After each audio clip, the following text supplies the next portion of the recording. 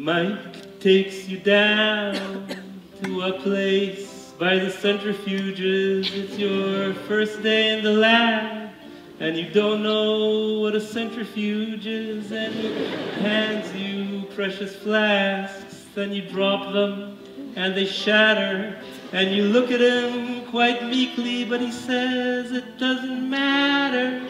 They were only the controls. and he gives you of his buffers, and he gives you of his strains, and you wish you had his genome, or at least you had his brains.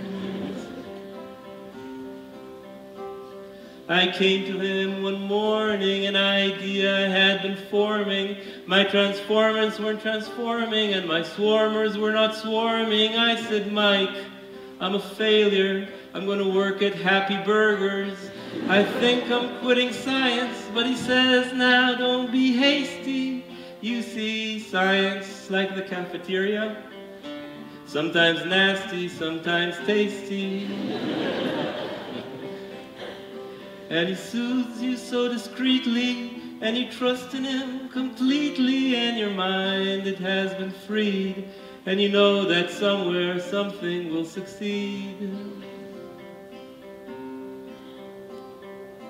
Now Mike is packing his papers in a folder. There's a knapsack on his shoulder. His pipette is in its holder. And as he leaves the floor, the shakers all stop shaking, the columns all run dry, and the autoclave stops baking. It'll never be the same.